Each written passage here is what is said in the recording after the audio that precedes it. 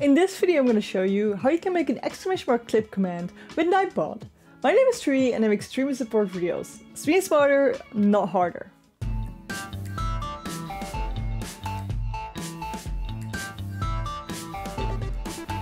But before I begin, I stream every Tuesday and Friday, 8 pm Central European Time on twitch.tv slash Trui. Feel free to hop in and ask anything about Nightbot. So let's jump right into it and go to nightbot.tv and click on login.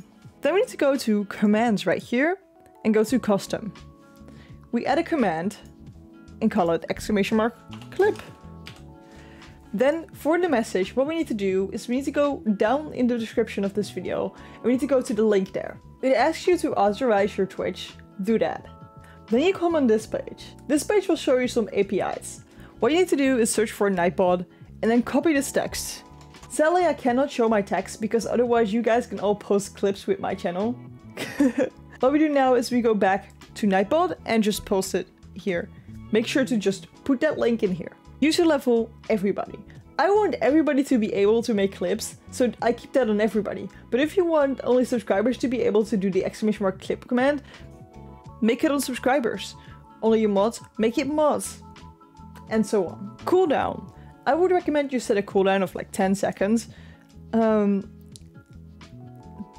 there we go. This is because the clip command will clip the last 30 seconds. If people will use it more than once every 30 seconds, you get clips of the same thing over and over. You don't want that, so set a little cooldown on this. And then click on submit. Make sure that Nightbot is active by going to your dashboard and checking if this says Part channel. If it says join channel, click on it.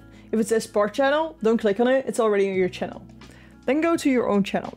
On Twitch, go to your chat and type slash mod Nightbot. Now you make Nightbot a moderator and it can do a lot more in your chat. What we can do is we can test the clip command as well. So we type exclamation mark clip. And then Nightbot will say, can clip for an offline channel. True that, you can clip for an offline channel. That should be the text if you're offline, because you're offline, you can't clip. I recommend you also do check this when you're live and see if it works, but it should be fine. So that was pretty easy, right?